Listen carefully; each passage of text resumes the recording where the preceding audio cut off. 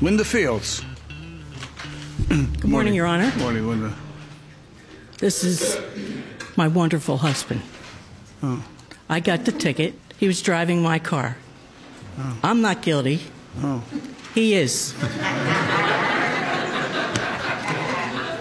let me let me explain what happened.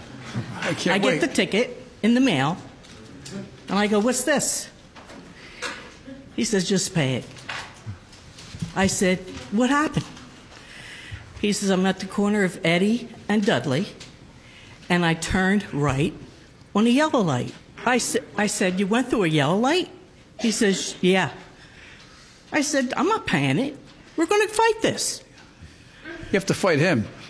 Yeah. So our so anyway, our son was in the hospital, had a very bad car accident, and he was going there three times a day. So I said, we're going to fight this. So Wednesday, we looked at the video for the first time, and I said, you went through a red light. And so that's where we stand. So you came here today to tell me he's guilty. I'm not guilty. The ticket's in my name. No, I I'm know. not guilty. No, no, I understand that. I said, but you came here today to tell me he's guilty. So the first thing you did was throw him under the bus. I'm not throwing myself under. you know? So you think he's really guilty, huh? When I looked at that video, if I was a policeman, I would say he was guilty. Guilty. Me, me too. Raise, raise your right hand and repeat after me. I mean, it was a little bit close. A little bit close. I want you to assume that you're a policeman right now, okay? Yeah. We're gonna, you're wearing Inspector Quinn's badge, okay? Okay? And you look at the video, and then you look at the time on the video. Let's see the front face sheet, please. See where it says, see where it says red time? You're going to put an arrow there. Point three? It says point three. You know what that means? No. That means he went through the light when it was red Three seconds? for three tenths of a second. Oh, three tenths. So it was close.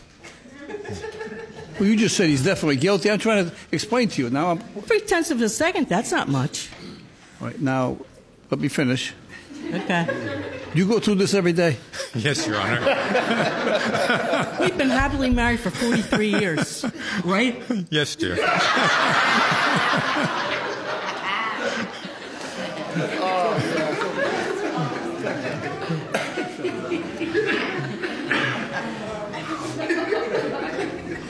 You know, um, when my wife and I meet people, usually they'll say, "How long you been married?" And I say, "We've been happily married for five years."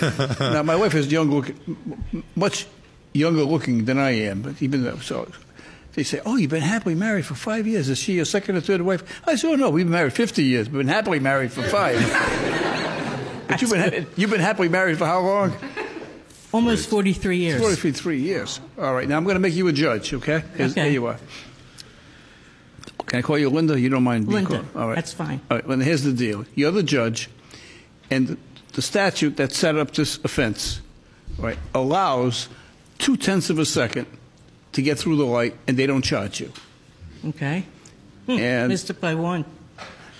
One tenth. and now how do you how do you handle this case? It's three tenths of a second. Do you give him the benefit of the doubt, right, or do you say, hey, you three tenths, pay the fine? What do you do? I'll give him the benefit of the doubt, Because it's your husband. and husband. he has to take me to dinner. Oh, That's the deal. well, I have to agree with her, Your Honor. it's been my custom. It's been, it's been my policy, in effect. I, without the city coming in and proving the calibration, I think the difference between two tenths of a second and three tenths of a second is so small, right, that I usually usually give the benefit of the doubt, right, particularly when they come in with some high high powered defense like you. You don't have to take me to dinner. No, no, I'm not going to take you to dinner. Okay. I've been happily married for five years. Matters dismissed. Linda's husband has found the secret to a long, successful marriage. No, it's not active listening or meaningful walks on the beach or mastering the Kama Sutra. Nope. It's much simpler than that. It's two simple words. We've been happily married for 43 years, right? Yes, dear. That's right. The two most important words for a husband to learn are yes, dear. Repeat that phrase every time she stops talking, and you're good to go. Pro tip no charge.